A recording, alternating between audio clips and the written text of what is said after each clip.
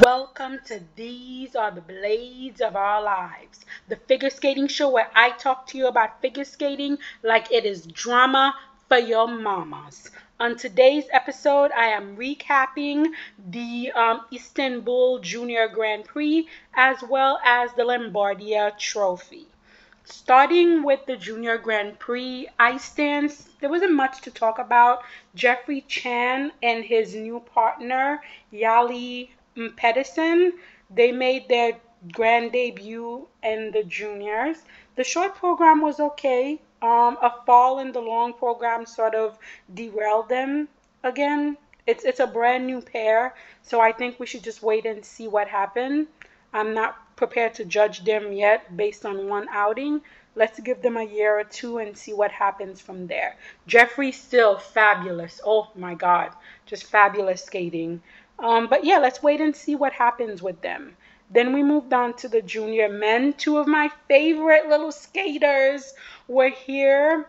Um, you know, my beloved little um, Menyuk So, as well as Rio Nakata, both were competing here. I am so, guys, you know, I keep saying that I'm not going to get emotionally invested in juniors because I've suffered too many heartbreaks. But Menyuk just makes that impossible for me. He is quintessentially everything that I love about figure skating. He emotes, his knee bend, beautiful jump technique, his musicality, his connection with us, the audience. I think if we keep going, I can see my little Menyuk on world podiums, on Olympic podiums. That is how much I'm invested in this junior, even though I told myself I would not. Unfortunately, at his last competition, you know, he had a really bad short where he wasn't able to do his triple flip, triple toe combination. And even though he came back in the free, he didn't have a triple axel, so he was only able to finish fifth but not here. He had a good, clean short program. No triple axel, but clean jumps, good spins. And then to top it off, he came in the long with the triple axel with all of his triples, with the emotion, with everything, and he finished first. But I don't know if a fifth place and a first place finish is going to be enough to get him to the Grand Prix final. I pray it is, but I'm just not sure. Then we also had Rio Nakata, who won his last Grand Prix with his really nice jump technique. He came here, he had the quad, he had triple, the triple axel. This is another thing that the judges are doing, and I want to take a moment. I know I throw a lot of dirt on the judges because they're corrupt to their core sometimes and all their little dinner parties and white envelope accepting. But I am beginning to see this movement where the judges are rewarding complete skaters. We are focusing not just on the technique, but on the technique plus the artistry, plus the packaging, plus the musicality, plus everything. We know in a lot of competition, if a skater can jump, even if that skater can't skate, the jump score equals the tech score. This did not happen here. Technically speaking, Rio um, Nakata had a higher technical program in terms of jumps than Mensuk did. However, in terms of being a complete skater, you could tell Rio is nowhere near what Mensuk is their spin, their speed, their glide, their bend, And the judges took all of that into account. They didn't just take into account the fact that Rio had the quad and the triple axel, they took into account the spins, the jump, the choreography, the musicality, and they put the complete skater in first place. And so unfortunately, um for Rio, he did not win this second leg of the Grand Prix, but I feel like it was a fair and right judging because a skater that was more complete than him won. Now, that's not to say Rio, who's really young, these kids are like 13, 14, 15, cannot become a complete skater. He already has that beautiful Japanese jump technique, knee bend and glide. He can now, he's seeing the judges are going to reward him for working on the spin, the musicality, the completeness. He's going to add all of that to his quad and triple axel and become a complete skater. So Rio came in in second place and this gives him a gold and a silver. And I feel like that should be enough for him to make it to the final, given that we're halfway through the Grand Prix. So I think he should safely be into the final. Then we had our second Japanese man, um, Daiya Ebihara. He was making his junior Grand Prix debut. Again, another Japanese skater with good jump technique, good knee bend, good glide. I wouldn't say anything else is special about him. Um, he was first in the short program. He had a really solid short program, triple axel, triple flip, triple toe. He had a really solid short program. But again, there was nothing that I was like, oh, this is amazing about it. And his long, he didn't do so well. But again, it wasn't anything amazing. It was just another really good Japanese skater. Um, you know, um, we had Konstantin um, Supatashvili. Yes, the Villies are back. The Villies. Um, he was six in the short program. He had a really nice long program and made it all the way up to fourth place. He does not have the Maurice Tosal we don't know what kind of jump. His jump technique is actually a little better. Even though he's a Vili, he has a better jump technique. But those were like the main, um, you know, boys at Istanbul. Then we got to the ladies. Oh my goodness. Ami Nakai ended up winning this event. I am really, really liking what is going on with the junior ladies. I like how they're growing, I like how they're developing. But I will say, for me, this was not a clean competition. There were only two skaters that actually had um, clean free programs or two clean program. One was the Japanese skater Rina um, Uzono, who was making her debut as well as Evelyn Lynn Grace. So it was the Japanese and the American. These were the only two skaters who had clean free program. Everyone else was a little up and down. So to start with, um, in fifth place was um, Sojin Young. Sojin Young. She was in second place after the short program. A beautiful short program. Again, that South Korean ladies training that they are doing there beautiful. If they don't overcompete them, the, the South Korean ladies will be a force to reckon with. She's got beautiful postures, beautiful spin, beautiful ice presence. She did beautifully in the short program. I actually would have had her in first place over Amni, but at the same time, I wasn't like, oh no, it's horrible that you know she was in second place. Unfortunately for her, when it came time to the long program, it got a little away with her. I think the pressure of being in second place, the pressure of possibly meddling was just a little too much for her and just one too many falls in the long program took her out of contention and she went from like second to fifth. But you know what? This is a learning. This is a learning process.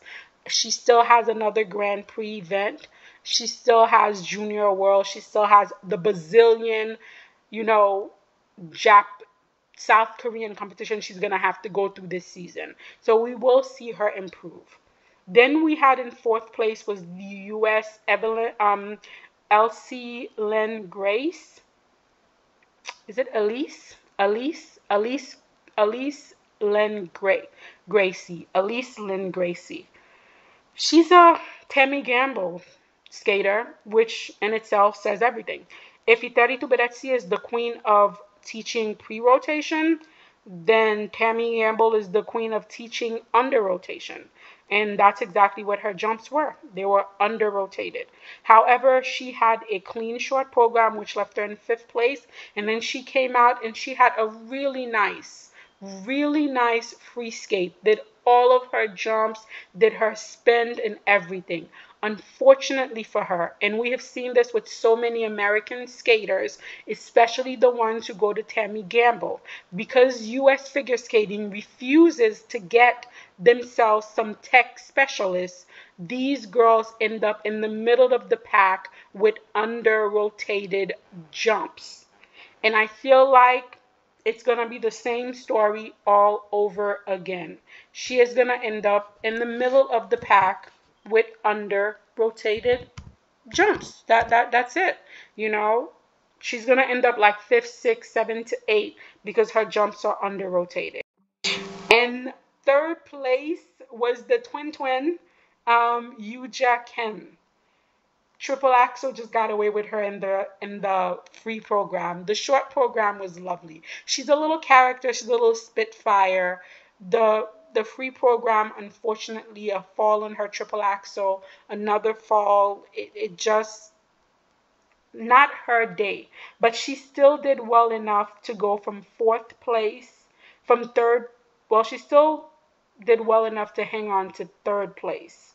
She did go from third place in the short to fourth place overall, with you know um, great Len Gracie passing her and getting third in the free, but she did enough overall to maintain her bronze medal.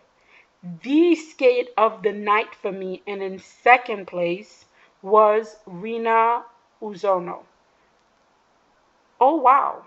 Oh wow, Uzono you know, sometimes when it's your first time out, you're nervous, the stomach is grumbling. We didn't see any of that from Rina. We saw none of that from Rina. She came, she did what she needed to do. A very calm skater, very unbothered, very unruffled. She just did what she had to do and then call it a day again, very impressed with her composure, very impressed with her jump technique, that beautiful Japanese jump technique. Very impressed with how she carried herself. She earned herself a silver a silver medal at this point, and then she still has one more competition. So she does. There is a possibility that she could also make it to the Grand Prix final. We don't know. And then the winner of the night was Amni Nakai. Beautiful short program you know, everything was good. I don't like the leg wrap. Her jump technique has this hideous leg wrap that I don't like. She did get the triple axel here. You know, that was her goal. She said, you know, she really wanted to get the triple axel because she didn't get it at her last competition. She came, she did what she set out to do. She landed that triple axel. She was not playing. However, her leg wrap and her jumps in the air is just not visually pleasant. It's really not nice to look at. And I feel like leg wraps are very hard to unlearn.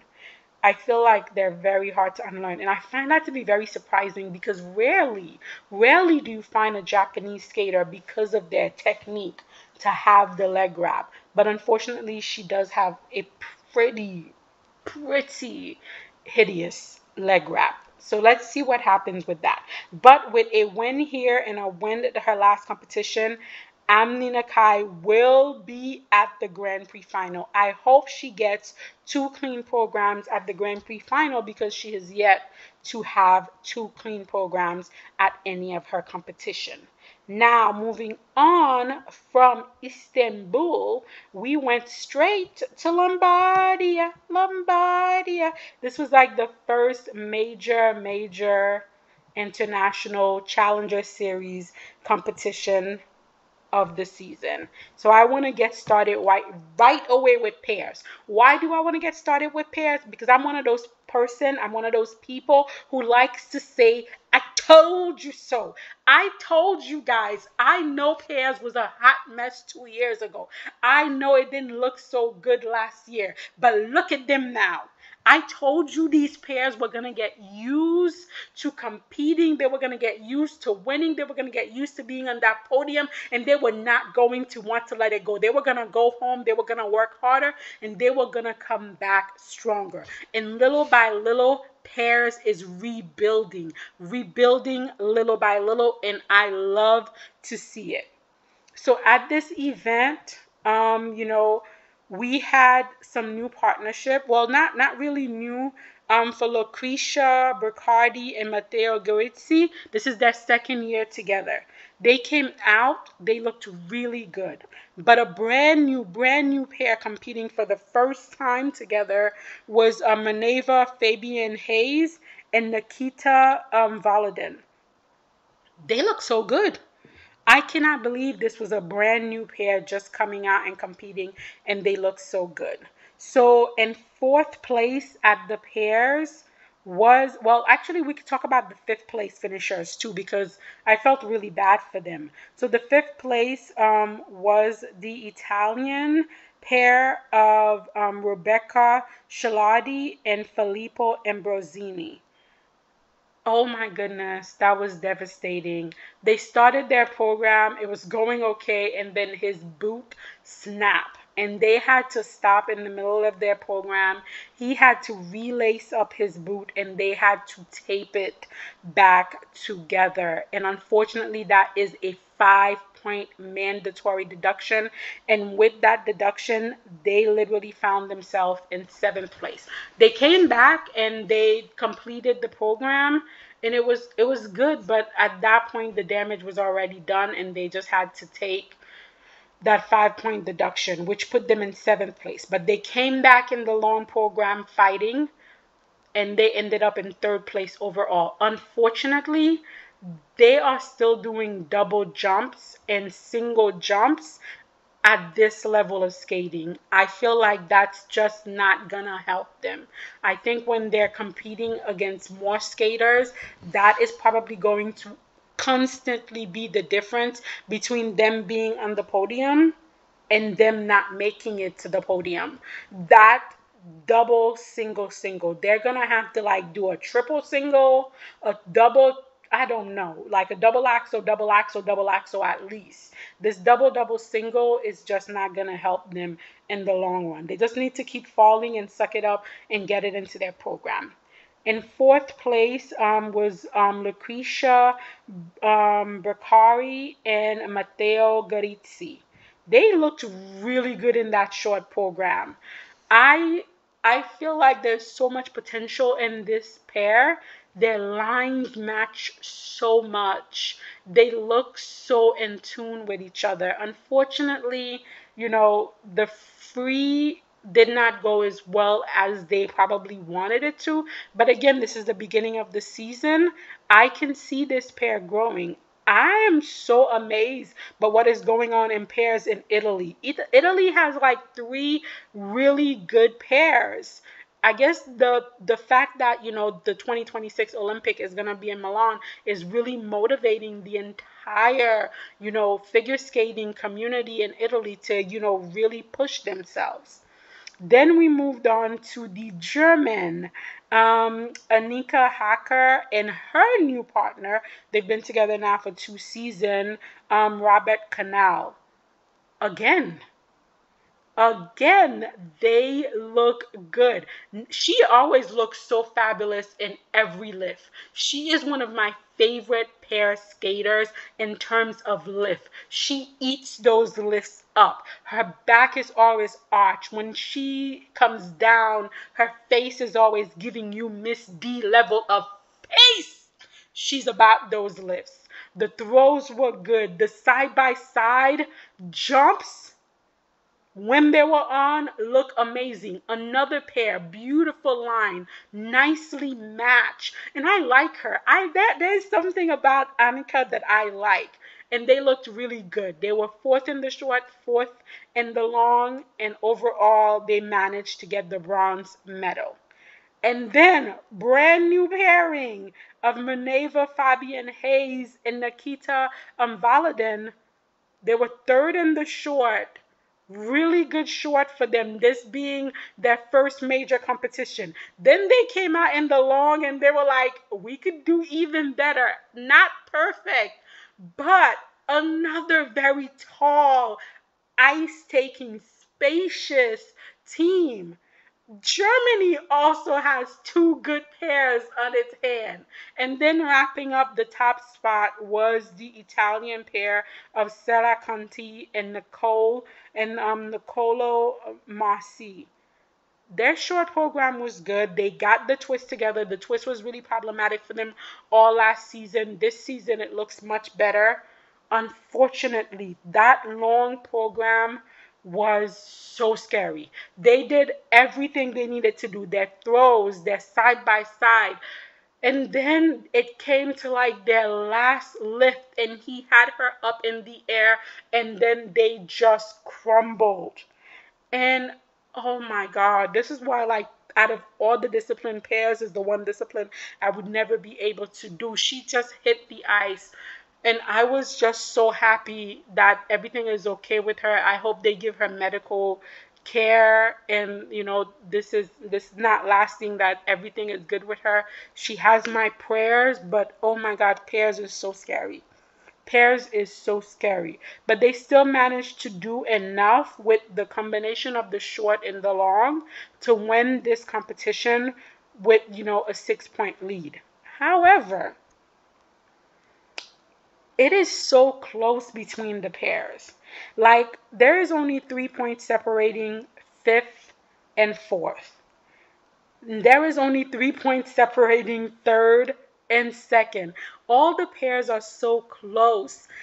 I cannot wait to see what happened in Europeans because we're going to see a repeat of these same pairs at European, and I'm really looking forward to it.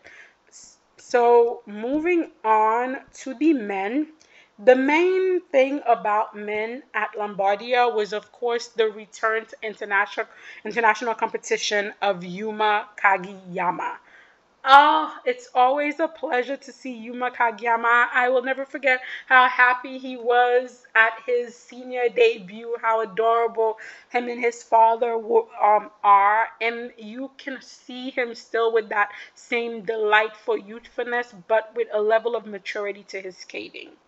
Of course, he wasn't here at 100%. The jumps were a little off. You could tell he was only skating at 70%. But if you remove the jumps, his extension, his centering, his projection, his musicality. He always had beautiful knee bends. He always had ice coverage. He always had edge control. Now he's working, you know, with Carolina, and that is bringing out the more, you know, outgoing part of his personality. And you could see it. He's growing. Let's say at the end of the season, we get to World. He has all of this the musicality, he has, you know, the projection, he has the ice presence. And now he's at 100% in terms of the jumps we might have something. We might have something. We have to wait and see. Um, of course, we didn't have the Georgian. Um, Naki, um, Nika Ed, Edgaza? Igazi? If anyone knows how to pronounce these names, please feel free to correct me. I am incredibly bad with all names. All of them. Not all of them. So if you guys know how to say these names, please feel free to correct me in the comments. I would really appreciate it. So I think his name is Nika Edgazi. Edgazi. I think so. Um, so he was from Georgia. I'm sorry, my man stopped and ripped open his shirt. I was like, okay, okay, you feeling yourself? And I'm about that. Feel you, do you. Okay, he had his little shirt ripping moment. Beautiful quad, beautiful quad. Um, you know, nice skating overall. Not necessarily my aesthetic, but nice skating overall. Then we have the Americans who were doing the Americans. To date, the Americans are, the American men are unable to do two clean programs. You either get a good short or you get a good long, but you are not going to get both. With Andrew Torgashev, we had a very nice short program from him nice again, a very musical skater, very projective, good ice presence. Not probably the best competitor in the world because he can deliver two clean program. The short was good. We came back for the long, and it was another Andrew Torgashev moment. Then we had the opposite with um, Camden Pulkinen. Short program, jumps just escaped him. They just were not there to be found.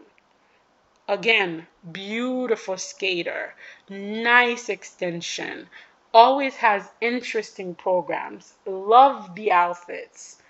But when it comes time to the jump, not there for him. The short program, the jumps could not be found. Then he came back with the long program, managed to get all the way up to third from eighth place. The inconsistency of the American men and men overall just continue. I would like to say I hope to see them progress and see some change this season, but I say that every season. So, but I'm an eternal hopeful individual. So I hope this season um, Andrew and Camden can get it together. And then the Japanese um, Nozomu Yosh- Yoshioka um, rounded up the top five. Again, another really nice Japanese skater. Nothing wow about him, nothing bad about him, just another good Japanese skater. Then we move on to the ice dance. The ice dance. I'm to say it.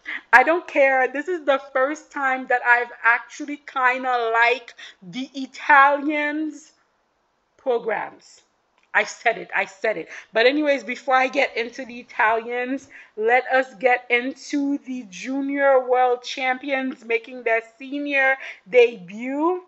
Katerina Moskova and Daniel Mas- Masev, Moskova, Moskova, Maskev. Anyhow, the brother and sister team made their debut. This young team has a lot of potential. Just a lot of potential. I guess because they've been skating together for so long as siblings, they have just an innate understanding of how they move, where the other partner is, where they're going to be, their ice coverage, their knee bend. Give if they had the right packaging and the right program, I wish I wish they had gone to Marie France because I feel like this is the kind of team that Marie France and her team could really sink their te- teeth into and really make something out of. But anyhow, I feel like with the right packaging, the right program, this team could climb up the ladder really fast. I feel like they could be a top 10 team by the time 2026 come and then for the next Olympic they could easily become a contender. So they made their senior debut and they did very well, you know, with like a top five finish. Now, while they are climbing, in sixth place, we had Caroline Green and Michael Parson. Now, their program, both the short and the long, is better than what they had last season. It's not great, but it is better than what they had last season. Unfortunately, you could see they haven't like either they haven't practiced it enough or they haven't gotten their nerves together. There was errors in the sh- rhythm dance and they had mistake in the long program. And unfortunately for them, instead of gaining the momentum that they lost, they seem to be losing more momentum because they are now behind. They went from fourth place in the short program to seventh place in the long program, coming behind a junior team that is making their senior debut. That is not good. And then making things worse for Parson and Green, their U.S. teammate, um, Emily Bratti and Ian Somerville, also beat them because they finished fifth both in the rhythm dance and in the long program. So unfortunately, this is not bowling. This is not. This does not look good for Green and Parson. I'm hoping they can get it together because nationals uh, might be problematic for them. Now we go to the podium. We had Maria um, Kazakova and Gregorio Rivera, the Georgian team. They had a really nice short rhythm dance, which put them in third.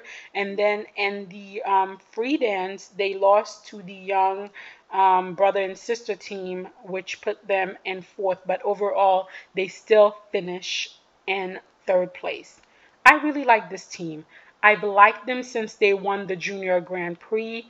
I think they're a very interesting team. I think they have a lot of personality. They're memorable.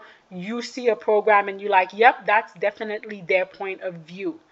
I am, however, very concerned for this team.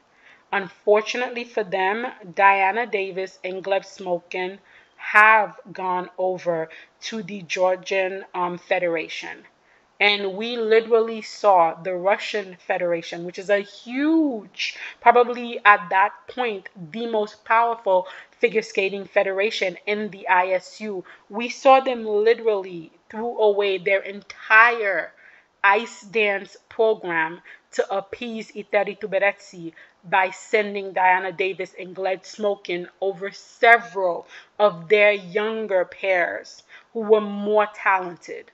I feel like if 2026 come around, like not even 2026, if Worlds come around and Georgia only has one spot, I think the Georgian Federation will, without a doubt, send Diana Davis and Gleb Smolkin to appease Eteri Tutberidze.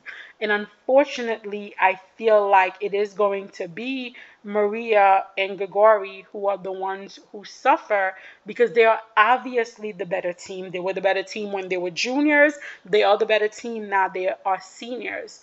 But at that point, it's not going to be about the better team. I think it's going to be about the connection. And I feel like if that happened or when that happened, when they lose a world, you know, spot, when they lose an Olympic spot, are they going to react the way some of the Russian ice dancers react, where they just decided to quit the sport because they realized their hard work and their determination doesn't amount to as much as having the right mother and the right political pull? So I do feel like this team will probably find themselves beyond, behind Diana Davis and Gleb Smolkin, not due to their lack of talent or hard work, but because of the politics of figure skating. And that will be very hard to watch, and I do worry for them. I pray that doesn't happen, but we've seen it before, and this is figure skating. And ice dance is all of figure skating is political, especially ice dance. Then we had another sibling team, um, Natalie Tashilarova and Philip Tashilar. Tashilarova, Tashilarova, Tashilarova, Philip Tashilar. Please feel free to correct me with these names. I love her so much. She is such a powerful skater. She has got so much oomph. The ice coverage, her knees digs into the ice and they push off with so much speed. They're so fast. I love this team. I don't necessarily love their programs. I don't love their choice of music. I don't love their packaging, but I love their power. I love their speed. I love the fact that they are like, we are here. Look at us. They take up the ice with no apologies. They eat up the ice. And I feel like if ever they get the right packaging, the right program, the right music, this will be a team that we will have to sit up and watch. They remind me of like um Madison Hubbell and Zachary Donahue. So much talent, so much power, never quite the right music and the right packaging. But you know what? It could happen. It could happen. I'm looking forward to it. And then, of course, the winner Charlene Guignard and Marco Fabbri. Guys, you know how much I have thrown dirt on this team. I am the first one to say it. And I don't throw dirt out of meanness. I throw dirt because they have so much potential. They are technically the most proficient ice dance team out there. If you really look at their twizzles, if you look at their pattern, if you look at their edge, if you look at their control, they are the most talented team out there. And they have always been the most dully packaged team ever. Now, I'm not saying that two programs are the most fabulous thing ever known to men. What I'm saying is for them, it is huge. The, the, the rhythm dance is the most alive I have ever seen them. Did they go 80s gotchi? Yes, they did. Did they take the theme a little too literal and too far? Yes, they did. But do they look committed to it? Yes, they do. Are they having fun with it? Yes, they are. And because they're having fun with it, I'm having fun with it. Now, the free dance, um, there's a lot of unique lifts, a lot of unique moments, a lot of unique, innovative holes in this dance. I'm not crazy about the music, and I don't like the overall flow of it. And that might be because it's a new program to them. They're still learning it. It looks a little clunky in, in places. But overall, this is them growing. This is so much better than what they've had before. I feel like if they continue to grow, they continue to fix here and there, they continue to smooth things out, they may be a contender maybe a contender, depending on what kind of material we get out of the Marie-France Dubreuil camp. This may be their year. You never know. Overall, I was very happy with the ice dance at Lombardia. I- I'm very happy for the Italians. And then, of course, as always, we wrap up with the women. None of them had a clean long program. The short programs were okay. That long program, there was like I think out of the top six, only one skater had a clean, not perfect, but she didn't fall long program. So we're starting off with the sixth place finisher, which is the American um, Ava Marie Ziegler. Short program, I was like, okay, Ava, okay, I see you want to come this season, you want to show us. Then we got to the long program, and it was a complete implosion complete implosion. She took one fall and I was like, don't get up. Let, let, let's not let's not continue the program. I know these skaters, you know, skate and they train to get up and finish the program, but I think we need to change that. I think there are certain falls that you take. You should just be like, nope, I'm calling it quit. It, that that it was that kind of program. It was very difficult to watch her just fall and fall and fall. So after like the long program, she went from like fifth place to 10th place. It was very hard to watch. Um, then in fifth place, we had Lara um, Naki Gutmann. Now, I never have Lara in the conversation. Never. Honestly, never. Whenever I'm thinking about like European, I'm thinking about world, I'm thinking about anything, Lara is never in my list. And yet, like the little engine that could, Lara always managed to sneak herself in there. And her programs are so unique and so inventive. Another skater that I feel has something to say that is very unique. She is not afraid to commit herself completely to her program. The short wasn't her best. Jumps have never been her best, but she's working on that triple triple combination. She is working on it, and I believe she will get it before before the Milan Olympic, my girl Lara Naki Gutmann will have a banging triple triple. I believe that. And then, of course, one of my favorite, one of the fans' favorite, um, Ekaterina Kurakova. Great outing for her. Great outing for her. And I'm going to tell you the best part. Her tights matches her skin tone, and it was tuck they heard my prayers. They heard my pleas. That fugly mustard tight, they got rid of it, got her some adult tights, and tucked it into her boots. I really like her little Kill Bill short program. Again, she's still doing that triple double. It is what it is.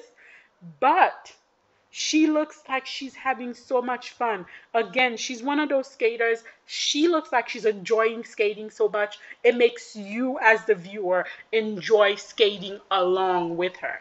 Long program, a lot better. A lot better. It wasn't perfect, but she was the only one who stayed on her feet and did not fall. A lot better.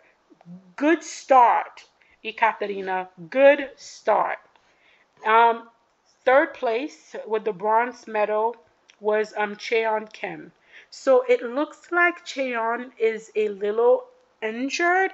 At the end of her free program, she was holding on to her shoulder. She looked a little injured. Her and she also grew. You could tell she's a little bit taller than she was last season, and I think that's kind of like affecting her center of gravity. And her jumps are a little off. Her jumps were off in the short, and they were off in the free. If she is injured, I pray that her team decides to pull her out of competition and let her rest also to give her time to adjust to her new body, to adjust to her growth.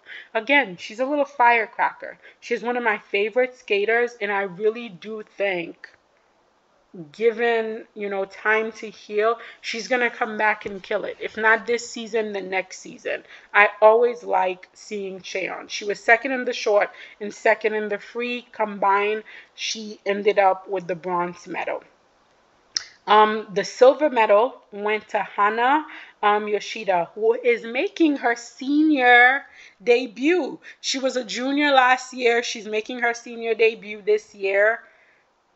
Really nice all around skater. There's nothing that I would say that's amazing about her, but there's nothing that's offensive about her either. She's just a really nice, well rounded skater. Again, with that Japanese jump technique that has that beautiful knee bend, nice straight up in the air. She comes down.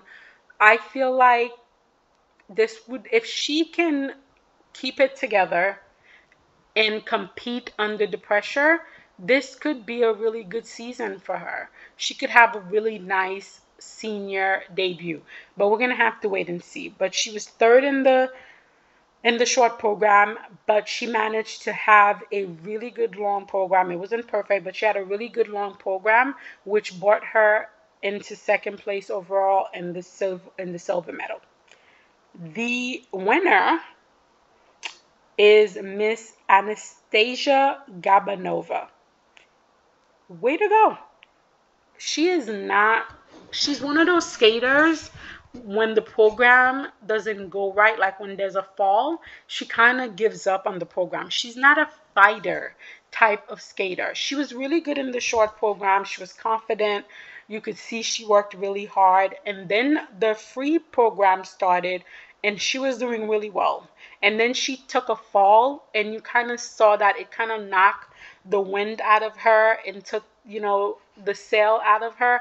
And then she kind of just phoned in the rest of the program. There was no fight to it. And I feel like that, and that ended up putting her in fourth place in the free. And she barely had enough. She barely had enough for the win. And I feel like that is going to be a problem for her. She needs to get a little more mental toughness that if one thing goes wrong with the program, to not give up on the program, but instead to like dig in and really fight for the rest of the program, getting every spin, every GOE, every point that she can. Because unfortunately, I feel like the judges have never been kind um, to Gubanova, and they don't seem like they're going to be kind to her now. So I feel like it's up to her to fight and make the judges give her the scores that she wants to see. Overall, the one thing that I was so happy to see, and that was in the seniors, that was in the juniors, is the fairness of the judging you have everyone doing the same element. Everyone is doing a triple flip, triple toe. Everybody's doing a double axle. everybody's doing a triple axle. And what really always bothered us with the Eteri bonus was the disgusting taste it left in our mouth when everyone was doing the same thing and these skaters had 10 points. And you could not do the math to figure out where that 10 points came from. Or when a skater would miss their triple combination completely and yet there was still like five point off of a leader who did a beautiful, clean program. Because we could not because our, our minds and our heart could not compute what our eyes were seeing because we were looking at the same thing and we could not understand where the extra 10 points was coming from it left this dirty taste in our mouth after we watched every competition. And I feel like that dirty taste is gone right now because every competition, everyone is so close. Like four points is separating, three points is separating, less than a point is separating even if you don't agree with the first and the second place finisher, it's so close that you can understand that yes, maybe the judges prefer this skater to the next. There's a level of justification now to how the judges are judging that we just didn't have before. And for me, and this is just my personal opinion, all of this is just my personal opinion. That just makes skating so much enjoyable for me. It makes it so much more exciting, and I'm so much more invested. Anyhow, I really enjoyed the Junior Grand Prix. I really enjoy Lombardia. I cannot wait for the season to continue. But you guys let me know what do you think of these two events and what do you think of how the judges are judging so far? Leave me a comment.